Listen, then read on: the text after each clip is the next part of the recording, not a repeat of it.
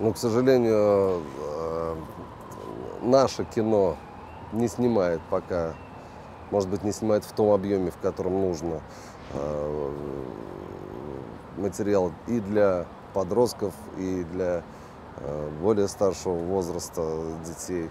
Ну, скажем так, да, там от 5 до 15, да, вот все, что мы видели, и «Дети капитана Гранта», и «Приключения электроников», и э, «Гардемарины вперед», много действительно фильмов, которые помогали нам становиться хорошими людьми, э, много героев, на которых мы хотели похожи, это действительно широкий пласт в наших душах, воспитанных в Советском Союзе и на советском кино.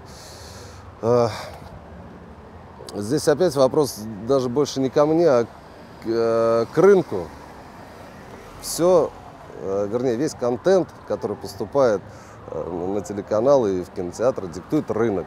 Оно либо продается, либо не продается.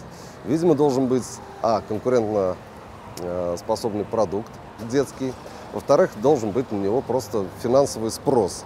Мы сильно открыли границы, не только, скажем, промышленные, но и культурные границы, да, и здесь на смену нашим мультфильмам и фильмам пришли западные.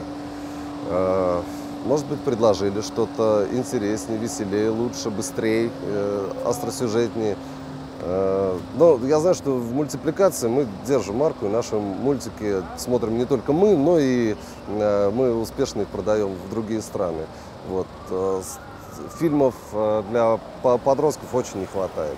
Я честно вам говорю, как молодой отец, дочке 7 лет, и вот с 7 бы до 15 посмотреть бы ей тех фильмов, которые смотрели мы, но э, изменился политический строй. Если наша, твор, наша Э, поколение было расформировано на октябрят, пионеров, э, комсомольцев и впоследствии коммунистов. И, в общем-то, была какая-то линия э, выстроена партией. И этому всему отмечали, а, отвечали фильмы. То сейчас уже, конечно, немножко по-другому устроен мир. Может быть, нам действительно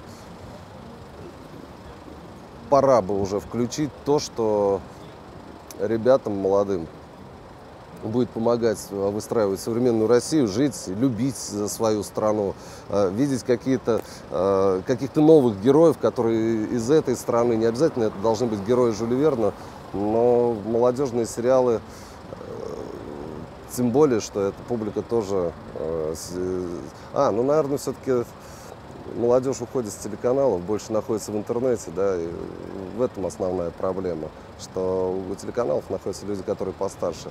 В общем, это все-таки больше вопрос, наверное, киношникам. Я пытаюсь только размышлять на эту тему.